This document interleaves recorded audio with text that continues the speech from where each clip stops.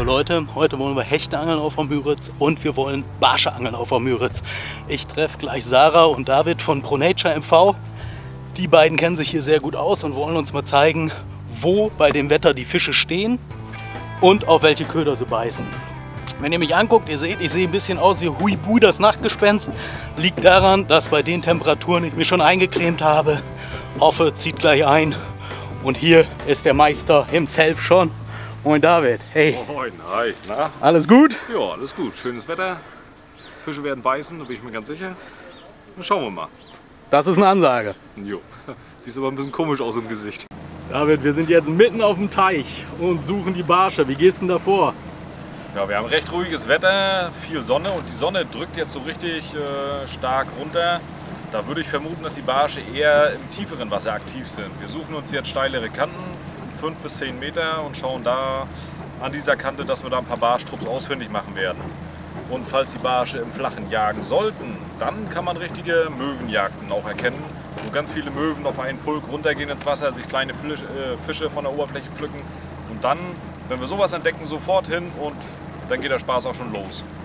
Hier vorne jetzt, aktuell oh, die Barsche wild am Jagen. Wir haben eine kleine Möwenjagd gefunden. Die Möwen sind hier wild wie verrückt am Toben und Sarah macht jetzt schon gerade die ersten Würfe. Da war der erste ja. Biss. Wirf, wirf. David, du bist dran. Schnell, schnell, schnell, schnell. Feuer, Feuer, Feuer. Komm, David, nicht hier quatschen und klug scheißen. Hier, hier, hier, hier. Ja, ja, ja, ich sehe es doch. Oh, Alter, hier sieht man sie echt direkt am Boot. Hast du einen? Ja. Ah, das ist ein Tier. Oh, hier geht's los. Sehr gut. Fisch, Fisch, Fisch. Und wieder weg. Oh. Da, sauber, Sarah. Und ab. Ja, Quick Release. Petri. Danke. Da, oh, große auch, große hinterher. Oh, was für Löwen, ey. Da ist er. Was für Sauber, Löwen. Petri. Und da unten stand noch Barsche, 35, 40 cm. Petri. Hammer. Oh, oh. Hast du was Besseres? Werden wir Oh ja. sehen. Oh ja, oh ja. Schön, die Doublette. Mit Schwung rein, mit Schwung rein, mit der Rute. Warte, hopp. Jawohl. Sauber. Petri, sehr cool.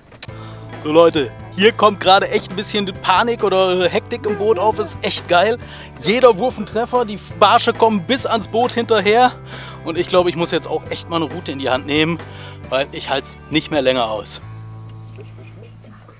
David, wenn man so eine Stelle hier gefunden hat, wie lange geht das? Kann auch ganz schnell wieder vorbei sein. Ne? Kann, also wenn es kurz ist, 10 Minuten, 15 Minuten, dann ist der Spuk vorbei.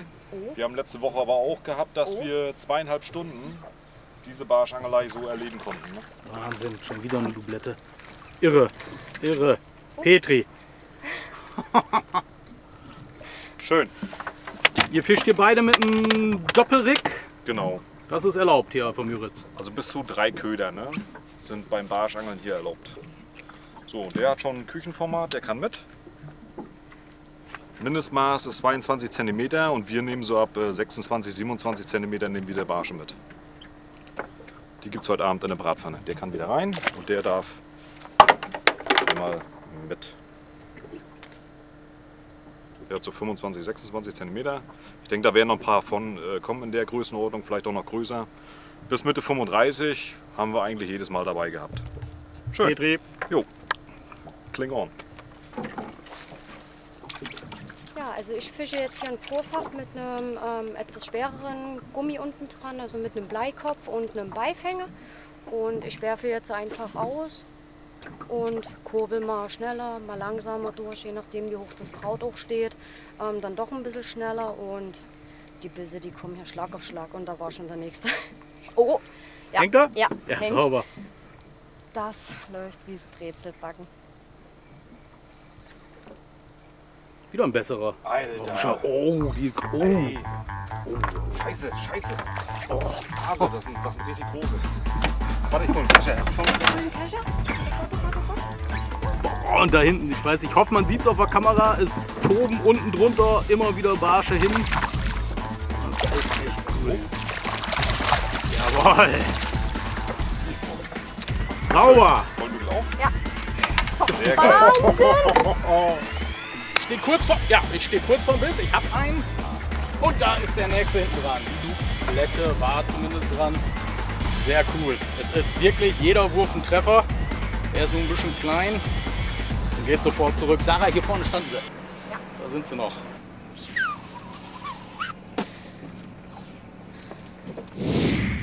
David hat mir eben noch einen Tipp gegeben vom Hechtangeln. Ich setze immer einen Anhieb wie ein großer. Aber bei den Barschen ist es wohl besser, wenn man einfach nach ein bisschen schnell weiterkurbelt. Warum ist das so, David? Aussteigergefahr wird minimiert. Barsche haben sehr weiches Maul, da schlitzt der Haken schnell aus. Aber die Großen doch nicht. Durch das schnelle Weiterkurbeln animierst du halt die Barsche, da wird der Jagdinstinkt geweckt, dass sie den zweiten Köder auch attackieren. Da ist er. Und so kommt man schnell auf Dubletten. Und ich habe schon wieder einen Anhieb gesetzt. Naja.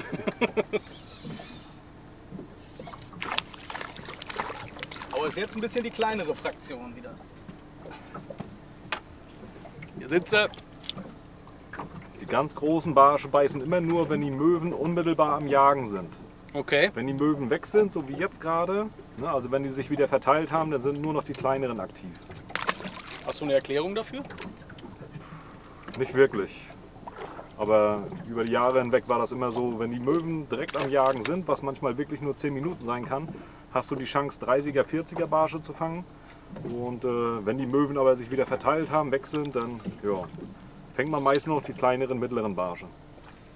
Maschine, David? Ja. Sehr schön, Petri. Guter 30er Barsch, auch auf den oberen Beifänger. Ganz oft im Sommer, dass sie diese ganz kleinen Mikroköder äh, zum Fressen gern haben. Das sind nur Actionköder mit so einem kleinen Wabbelschwanz hinten dran, 5 cm groß. Ja, das ist so der absolute Heilbringer aktu aktuell jetzt auf der Müritz ne, für das Barschangeln. Ja, die Möwen haben sich verteilt. Es wird jetzt insgesamt ein bisschen ruhiger. Wir haben viele Fehlbisse. Aber ich denke, wir werden heute, wir haben noch ein paar Stunden Zeit, werden heute noch die eine oder andere Möwenjagd erleben. Telefon. Ich hoffe, man erkennt das, aber hier brodelt's.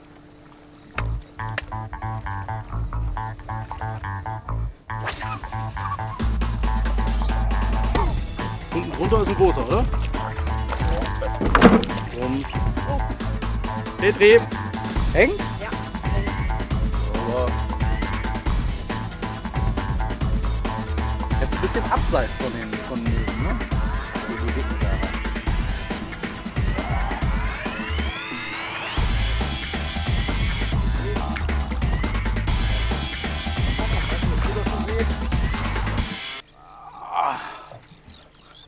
Müritz Barsch Angeln vom Allerfeinsten. Sehr cool.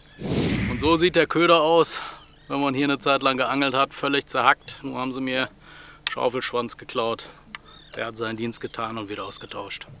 Eine der größten Möwenjachten der letzten zwei Wochen, die jetzt hier zu sehen ist. Bestimmt 150, 200 Möwen, die hier am Jagen sind, zumindest phasenweise. Aktuell jagen die Barsche in den Krautfeldern, das habe ich hier gerade am Haken, äh, diese kleinen Brutfische von diesem Jahr. Äh, bei diesen Barschjagden, wenn die diese Brutfische zusammentreiben, werden die Kleinfische an die Oberfläche hochgedrückt und da holen sich dann die Möwen ihren Anteil von oben. Ne, die der kleinen Fische, die an der Oberfläche springen, gerade Fisch. Funktioniert also Theorie und Praxis. Die kleinen Fische, die werden dann in, oder flüchten in Panik dann teilweise an die Oberfläche heran und die Möwen stürzen sich dann drauf und holen dann die an die Oberfläche gejagten Kleinfische und so entsteht diese Kombination. Barsche und Möwen gehören immer unbedingt zusammen. Heißt, wenn man hier unterwegs ist im Sommer, Immer gucken, nach Möwen Ausschau halten. Ne? Auch wenn die nur auf dem Wasser sitzen, ist meistens auch ein Indikator dafür, dass äh, Barsche zumindest in der Nähe sind. Also wir vermuten, dass die Möwen äh, mit ihren Füßen registrieren können, also wenn die Füße im Wasser paddeln, registrieren können, dass Barsche da sind. Barsche unterhalten sich, kommunizieren mit Knurrgeräuschen auch bei der Jagd und ich nehme an, vermute, graue Theorie, dass die Möwen das in den Füßen spüren, diese Knurrgeräusche, diese Vibrationen. Und deswegen, dort wo Möwen sitzen, sind ausschließlich auch immer Barsche vorhanden. Und wieder Fisch. Boah, Barschangeln fetzt. So hohe Frequenz. Und an guten Tagen ist es nicht ungewöhnlich, dass man eben 100, 150 Barsche fängt. Innerhalb kürzester Zeit. Petri, Jo. Kumpel. Darf wieder schwimmen. wie viel darfst du hier mitnehmen? 20 Barsche mit einem Mindestmaß von 22 cm, also über einem Mindestmaß von 22 cm dürfen sich die Angler mitnehmen. Pro Angler. Okay. Aber das reicht auch. Ich sag mal, wenn man 20 gute 25er, 30er Barsche hat, da hat man locker drei, vier gute Mahlzeiten zusammen. Zum Barschfischen jetzt hier im Sommer im flacheren Wasser fischen wir so eine Paternoster-Montage. Das heißt zwei Gummiköder der obere sollte immer ein bisschen kleiner sein, der untere etwas größer. Der obere hat 4 cm, der untere so 5 bis 6 cm. Spielt keine große Rolle, ob jetzt äh, No-Action-Tails oder halt auch Gummifische, die normalen Schaufelschwanz hinten dran haben. Die Größe ist entscheidend, weil das ist auch genau der Brutfisch von diesem Jahr, den die Barsche hier jagen. Sind die Köder größer, kriegt man keine Bisse. Fischt man einen einzelnen Köder, kriegt man auch keine Bisse. Da, oh Alter, Alter, und was für Riesendinger. Darunter, darunter standen bestimmt 30, 35 richtig große Barsche über 30 cm. Das erlebt man auch immer, dass wenn man Barsche im Drill hat, dass dann halt die richtig großen Fische hinterherkommen, neugierig. Die großen werden ja nicht umsonst so groß ne, und es ist auch schwieriger, die zu fangen. In der Regel fängt man dann so die Barsche 20 bis 30 cm. Aber es gibt eben auch Tage, da kommen dann beständig auch große Barsche, 30, 35, manchmal eben noch 40 cm bei dieser Barschjagdangelei. Und ich sehe, du fischst hier Mono- bzw. Fluorvorfach. Genau. Hechtbeifang ist Auf der Müritz eigentlich ausgeschlossen auf diese kleinen Köder. Also auf 30 Angeltage kommt vielleicht mal ein Hechtkontakt. Die Müritzhechte sind ja im Schnitt eher größer. Also man fängt schon gute, große Hechte hier und die reagieren im Sommer auf die kleinen Köder beim Barschangeln so gut wie gar nicht. Auf anderen Seen würde ich auch eher ein Stahlvorfach davor fischen, aber hier auf der Müritz selber, also Hechte als Beifang haben wir so gut wie gar nicht. So Leute, das ist heute der, mein letzter Barsch. Es war eine sensationelle Angelei hier bei David auf der Müritz. Ganz herzlichen Dank David, ganz herzlichen Dank Sarah. Es war wirklich grandios, aber man soll ja aufhören, wenn es am schönsten ist. Wir haben, ich weiß nicht, über 100 Barsche gefangen. Teilweise sehr gute dabei, bis 30 cm und wirklich bis auf Biss. Hat einen Heidenspaß gemacht. Und wenn es euch auch gefallen hat, dann lasst ein Like da. Schreibt was in die Kommentare und wir sehen uns beim nächsten Mal. Denkt immer dran, Bordis wissen mehr. Ciao.